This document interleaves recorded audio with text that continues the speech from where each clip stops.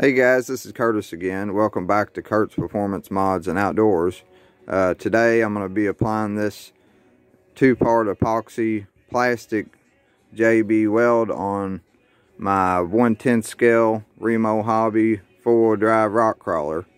Um, which I've already done, applied some of it on there.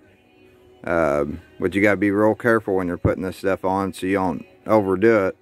So I just used a real thin coat with a flathead, uh, which you could use a brush, but that's what I mixed the two-part epoxy up with. Uh, I figured I'd give y'all a look at everything. I put some on the lower front diff, uh, the inner and outer lower parts of the links where there was plastic, and that uh, center plastic skid plate right there in the center.